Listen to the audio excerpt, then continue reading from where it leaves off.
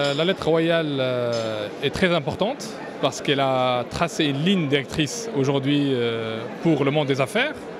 Il était très clair dans cette lettre royale hautement saluée par les participants aujourd'hui à la conférence sur la justice et l'investissement de signaler de manière très forte l'importance accordée à l'arbitrage et à la médiation en tant que mode alternatif de règlement des litiges ça fait écho à, la lettre de Sa Majesté, en fait, au discours de Sa Majesté de 2009, où il a, Sa Majesté avait insisté à ce que le gouvernement euh, s'imprègne de ces directives et qu'on ait un cadre beaucoup plus important, parce que le Maroc, on a un cadre, c'est l'arbitrage et la médiation conventionnelle, mais Sa Majesté a souhaité que ce soit de manière effective, qu'on va de l'avant et qu'on crée, euh, on va dire, un environnement propice à l'investissement.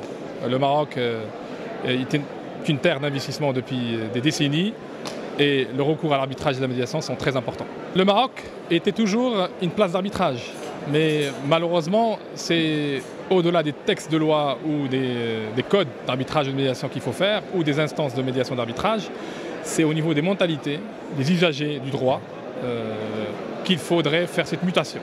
Il est important aujourd'hui de s'inscrire dans cette logique, d'encourager l'arbitrage et la médiation.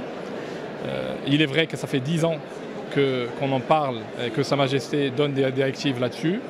Euh, aujourd'hui, nous avons un projet de code d'arbitrage et de, médiation conventionnelle qu'on aura un code séparé du code de procédure civile. Euh, je pense qu'en termes de forme, il est important, mais en même temps, il envoie un message. Ça veut dire que ça devient euh, une pierre angulaire à la justice marocaine, à la justice commerciale, et qu'il faudrait que les usagers, que ce soit les juges, les avocats, les notaires, les experts comptables, aussi les investisseurs, d'octroyer la chance euh, pour le règlement des litiges à l'arbitrage et à la médiation. Un bilan, euh, certes, on ne voit pas les fruits tout de suite, parce qu'il faut dire qu'en place d'arbitrage, ça prend des années pour euh, qu'elle s'installe cette culture. Comme je vous dit, c'est une histoire de mentalité pour que les gens aient confiance pour mettre la clause d'arbitrage et de médiation, au-delà d'un texte qui on ne décrète pas l'arbitrage de la médiation, plutôt on incite et que les acteurs eux-mêmes arrivent à faire confiance et adopter ce mode alternatif. En fait, le Centre international de médiation et d'arbitrage de Casablanca, le CIMAC, euh, depuis la création, euh, a essayé de s'ouvrir à d'autres expériences. Euh, nous savons que l'expérience des autres centres est importante. C'est pour cela qu'on avait signé pas mal d'accords de, coopération de traités. Je citerai quelques-uns, notamment celui qu'on a signé l'année dernière avec le CIRDI, le Centre d'arbitrage de la Banque mondiale. Nous avons signé aussi un, mémorandum d'entente avec le Centre de Vienne qui gère euh, la partie, j'allais dire, de l'investissement et des litiges liés à l'investissement sur l'Europe de l'Est, euh, qui sont très importants.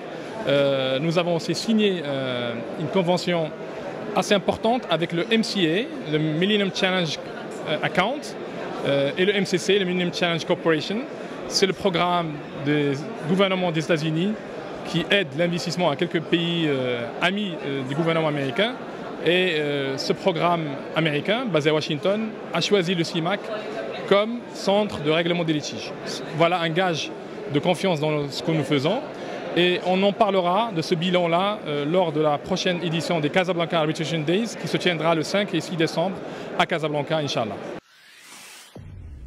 Pour suivre toute l'actualité d'EcoActu.ma, inscrivez-vous sur notre chaîne YouTube et rejoignez notre communauté sur Facebook et sur les autres réseaux sociaux.